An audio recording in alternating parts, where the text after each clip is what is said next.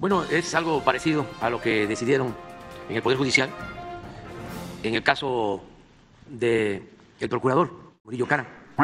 Eh, deciden, en el caso de los militares, que pueden llevar su proceso en sus casas porque el juez resolvió que no hay riesgo de que puedan escaparse.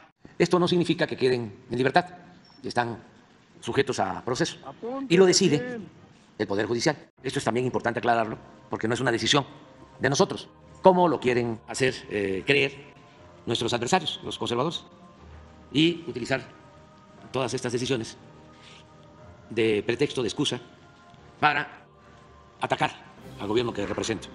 Y no solo para eso, sino para este, llevar a cabo acciones de provocación, como las de ayer, que vinieron un grupo de estudiantes, maestros, y quienes posiblemente no son ni maestros ni estudiantes, a tirar bombas aquí al palacio.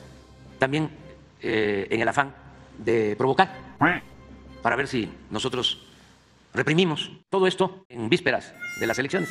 ¿Cómo identificaron que eran normalistas o no están seguros de que hayan sido estudiantes Sí. los que lanzaron? ¿Sí están seguros? Sí, es un grupo de Ayotzinapa, maestros, otros dirigentes. Eh, nada más vinieron en tres camiones, tiraron las bombas y se retiraron. ¿Tiene el estatus del estado de salud de los 26? Están bien, afortunadamente todos bien. Les mando un abrazo muy fuerte. Y eh, la instrucción que se tiene es no caer en ninguna provocación, porque todo está vinculado a las elecciones. Y están desesperados. ¿Incluida la liberación de los militares? O sea, es decir, yo lo, Sí, sí, sí, sí, porque el Poder Judicial eh, ya tomó partido. O sea, el Poder Judicial está a favor del bloque conservador.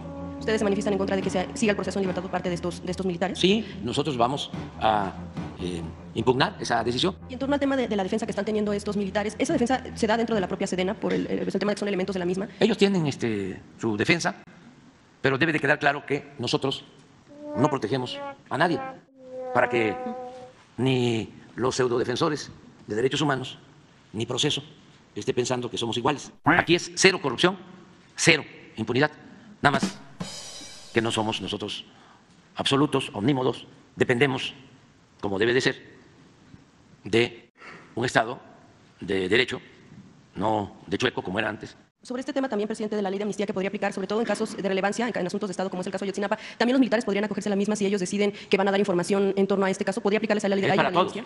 para todos. Lo que queremos es encontrar a los jóvenes. ¿Por qué esperar a que sean militares eh, detenidos los que puedan acogerse a la ley de amnistía para poder dar información que ya se tenía? Es que este, eh, se ha insistido mucho en que el ejército no quiere dar información y eso es falso. El ejército ha entregado toda la información sobre el caso de Ayotzinapa. Tenemos que eh, enfrentar todas estas campañas que tienen un propósito muy claro de eh, socavar instituciones, en lo particular afectar a la Secretaría de la Defensa El general no va a dar ningún comentario en torno a todo esto- toda esta información que ha surgido y en torno a la información que tendría la Fiscalía General de la República en torno al este, caso. yo no se los estoy dando. ¿O esperarían hasta después de las Yo elecciones? soy Pues, este, responsable porque, fíjense que soy el comandante supremo de las Fuerzas Armadas, o sea, además de presidente de mí. Y este, no me gustaría que este, el general, se lo digo con toda claridad, eh, le, esté, le esté contestando a Proceso, que es una revista que está entregada por entero a la mentira. Ya sobre el caso y las peticiones que han hecho las madres y los padres y Sí, precisamente, pero que vengan las madres y los padres, además los voy a recibir. pues sí, para hasta después de las elecciones. O sea, Yo los voy a recibir, ¿sí? Pero este, tráiganme por escrito ustedes la autorización de las madres y de los padres. Porque ustedes oficiosamente se este, sitúan como intermediarios. Y el tema de la COVAC, presidente, ¿es, es una comisión que todavía está pues, vigente o ya porque usted tomó pues, las riendas de la investigación, lo va a hacer ya directamente, tal vez sin la intermediación, por ejemplo, del- de, quien está a la cabeza de la COVAC? Sí, sigue y están trabajando muy bien. Todos los días, sí. Todos los días. Y estamos todos trabajando.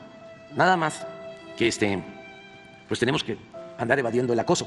No solo de los provocadores que tiran las bombas, los petardos, sino también de los medios de manipulación.